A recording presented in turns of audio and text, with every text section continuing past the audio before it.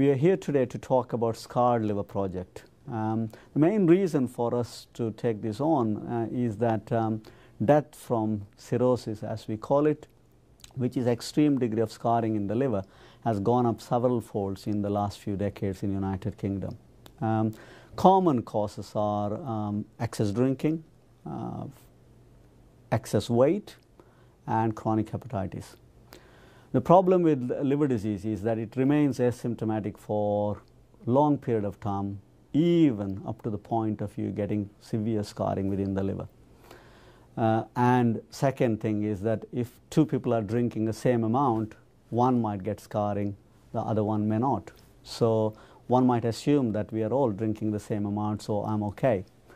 Uh, one of the way to really pick up someone who has got scarring is try and use some sophisticated yet simple non-invasive test to pick up one who has got already a risk of developing more scarring from the one who doesn't so that at that stage of early scarring we can intervene and change uh, the natural history of this condition and at that stage we can actually reverse the problems uh, in the liver but it's very difficult to reverse or do anything particular once uh, extreme degree of scarring has developed.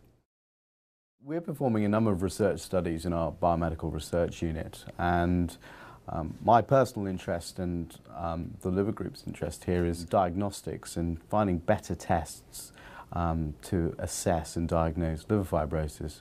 And one of the main challenges we have with liver fibrosis is that it doesn't have symptoms until very late on in the disease.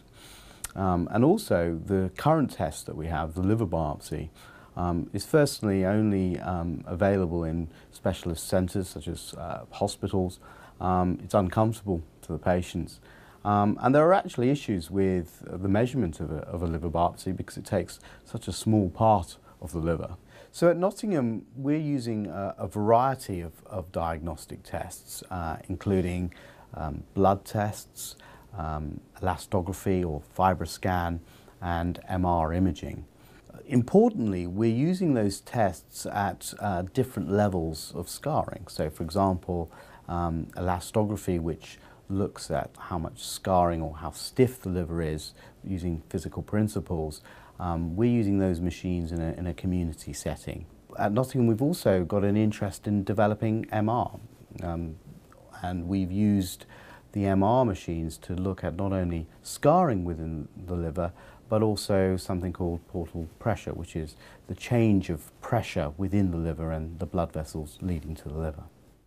Transient elastography or FibroScan, believe it or not, was uh, first utilised um, in the assessment of cheese to look at the integrity of cheese, and then some bright spark thought of the idea of um, uh, looking at liver disease uh, with, with the machine.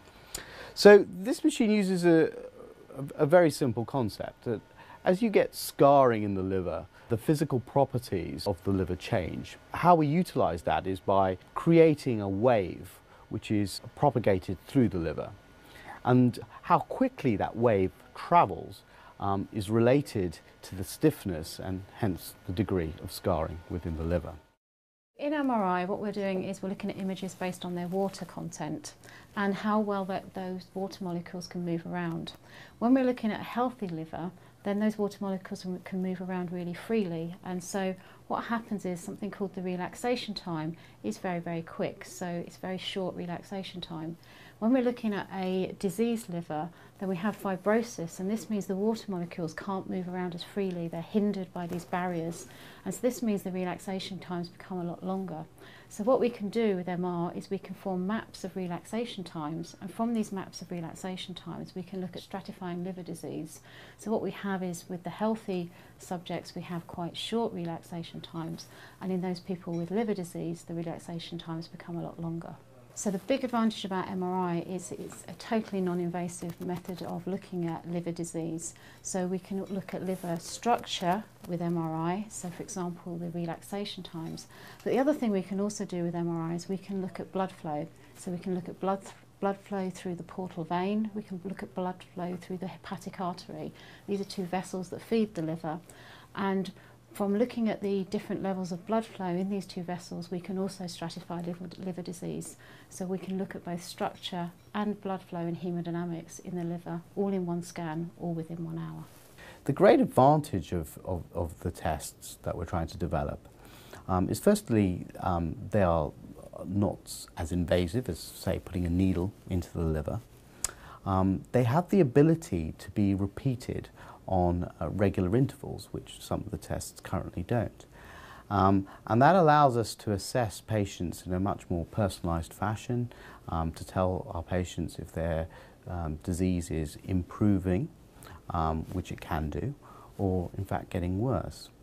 And for the development of new drugs in, in liver disease, it's also important for, um, for those investigating those drugs and, and those monitoring those drugs to have tools that can be used on a, on a regular and serial fashion um, to see uh, whether the effect of, of, of the treatment is, is beneficial or not.